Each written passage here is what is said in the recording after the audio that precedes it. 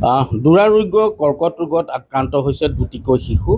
তেজপুৰ তল কলিবাৰী চাৰি বছৰীয়া আৰু চৈধ্য বছৰীয়া দুটি শিশু কৰ্কট ৰোগত আক্ৰান্ত হোৱাৰ পিছত সম্প্ৰতি মুম্বাইত চিকিৎসাৰত হৈ আছে। পিতৃ মাতৃসহ সেই শিশু দুটি আৰু বিছ জুনত মুখ্যমন্ত্ৰী তেজপুৰলৈ আহোঁতে কলাগুৰু বিষ্ণুপ্ৰসাদ ৰাভাৰ সমাধি ক্ষেত্ৰত শিশু দুটিৰ মাতৃ মৃগাক্ষী মেছে এক আবেদন জনাইছিল। সেই আবেদনৰ ভিত্তিতেই মুখ্যমন্ত্ৰীৰ বিশেষ সাহাৰ্য্য পুঁজিৰ পৰা তেওঁলোকক আৰ্থিক সাহাৰ্য প্ৰদান কৰা হৈছে আৰু এই মুহূৰ্তত আহ, মুখ্যমন্ত্ৰীৰ প্ৰেছ উপদেষ্টা ধ্ৰুৱ বৈশ্য ডাঙৰীয়া আহি উপস্থিত হৈছে আৰু লগত শোণিতপুৰৰ আয়ুক্ত দেৱকুমাৰ মিশ্ৰ উপস্থিত হৈছে আৰু তেওঁলোকে শিশু দুটিৰ ককাক আইতাক ক্ৰমে মূলায়ন চন্দ্ৰ মেচ আৰু নিৰ্মলা মেচৰ হাতত মুখ্যমন্ত্ৰীয়ে প্ৰদান কৰা চেকখন আনুষ্ঠানিকভাৱে প্ৰদান কৰিছে। মই দেখুৱাইছোঁ পৰিৱেশ আৰু যিহেতু প্ৰেছ উপদেষ্টাগৰাকী আছে তেখেতৰ ওচৰলৈকে আহিব বিচাৰিছোঁ।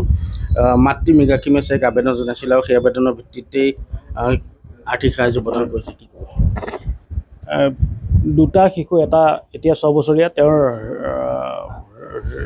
হৃদৰোগত তেওঁৰ প্ৰব্লেম আছিল তেনেকুৱা তেওঁৰ এটা চাৰ্জাৰী হৈ গৈছে চাৰি বছৰ বয়সতে। এতিয়া আইতাকে জনোৱা মতে এতিয়া তেওঁ মোটামুটি প্ৰায় সুস্থ আৰু ছোৱালীজনী চৈধ্য বছৰীয়া তেওঁৰো দুৰাৰোগ্য ৰোগ ধৰা পৰাৰ পিছত এতিয়া মুম্বাইত ট্ৰিটমেণ্ট চলি আছে। এতিয়াও তেওঁলোক আজি আমি আহিছিলোঁ কিন্তু তেওঁলোক মুম্বাইলৈ চেকআপৰ কাৰণে গৈছে।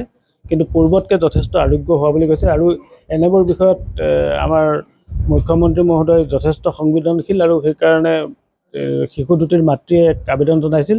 সেই আবেদন সন্দৰ্ভত মুখ্যমন্ত্ৰীয়ে সাহাৰ্য সাহাৰ্য পুঁজিৰ পৰা এক বিশেষ অনুদান আগবঢ়াইছে আৰু সেই অনুদানখিনি মোক ক'লে যে নিজে আহি ইয়াত দিবলৈ ক'লে আৰু উপায়ুক্ত মহোদয়ৰ লগত আজি আহি আমি তেওঁলোকৰ ককা আইতাক আইতাকৰ হাতত সেই ধনখিনি অৰ্প- অৰ্পণ কৰিলোঁ চেকখন অৰ্পণ কৰিলোঁ। নিশ্চিতভাৱে মুখ্যমন্ত্ৰী যি বদান্যতা তাক এক প্ৰকাৰ আমি স্বীকাৰ কৰিব লাগিব। জিলা আয়ুক্ত আছে মই তেখেতৰ ওচৰলৈ আহিব বিচাৰিছোঁ। কি ক'ব আজি আৰ্থিক সাহাৰ্য প্ৰদান কৰা এইটো এটা বিশেষভাৱে পদক্ষেপ লৈছে আমাৰ অসমৰ মাননীয় মুখ্যমন্ত্ৰী মহোদয়ে। মৃগাক্ষী মেচ তেখেতে মাননীয় মুখ্যমন্ত্ৰী মহোদয়ক এখন আবেদন কৰিছিলে। কাৰণ তেখেতৰ দুইটা মানে এহাল ল'ৰা ছোৱালী ছোৱালীজনী চৈধ্য বছৰ বয়স আৰু ল'ৰাটোও চাৰি বছৰীয়া বয়স দুইটাই মানে দুৰাৰোগ্য ৰোগত আক্ৰান্ত হৈছিলে আৰু চিকিৎসা কৰি আছে যথেষ্ট ব্যয়বহুল চিকিৎসা গতিকে তেখেতে অকণমান আৰ্থিক সাহাৰ্য বিচাৰিছিলে। আৰু এই এই গোটেই কথাখিনিৰ ওপৰত মাননীয় মুখ্যমন্ত্ৰী মহোদয়ে এটা ৰিপৰ্ট বিচাৰিছিলে আমাৰ পৰা। আৰু আমি গোটেই joint director of health services তাৰপিছত চাৰ্কেল অফিচাৰ সকলোৰে পৰা তেখেতলোকৰ গোটেই পৰিয়ালৰ কথাখিনি আৰু বেমাৰৰ কথাখিনি আমি বিশদভাৱে এক ৰিপৰ্ট দিছিলোঁ। আৰু তাৰ তাৰপিছত যথেষ্ট বদান্যতা দেখুৱাই আমাৰ মাননীয় মুখ্যমন্ত্ৰী ডক্টৰ হিম হিমন্ত বিশ্ব শৰ্মা মহোদয়ে এটা পাঁচ লাখ টকাৰ আৰ্থিক সাহাৰ্য এই পৰিয়ালটোলৈ দিছে। আৰু সেইখিনিৰ কাৰণে দিবৰ কাৰণে এই ধনৰাশি দিবৰ কাৰণে আমাৰ প্ৰেছ ছেক্ৰেটাৰী সন্মানীয় ধ্ৰুৱ মহন্ত ডাঙৰীয়া ইয়ালৈকে আহিছে।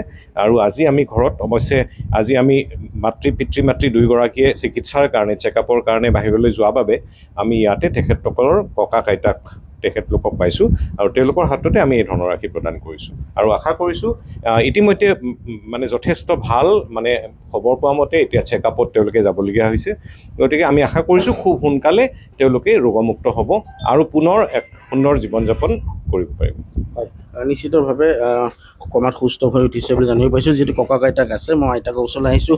আহ, কি ক'ব? মুখ্যমন্ত্ৰীক নিশ্চিতভাৱে ধন্যবাদ তেখেতক বহুত ধন্যবাদ কৈছোঁ। এনেকুৱা ধৰণৰ সহায় কৰি আমাৰ গোটেই সিহঁতক অকল নহয় আমাৰ গোটেই পৰিয়ালটোকে সহায় কৰিছে। আৰু এইটো এটা ছাৰৰ আমাৰ কাৰণে ভাল আৰু সমাজৰ বহুত মানুহৰ কাৰণে ভাল ছাৰে এনেকৈ কৰিব।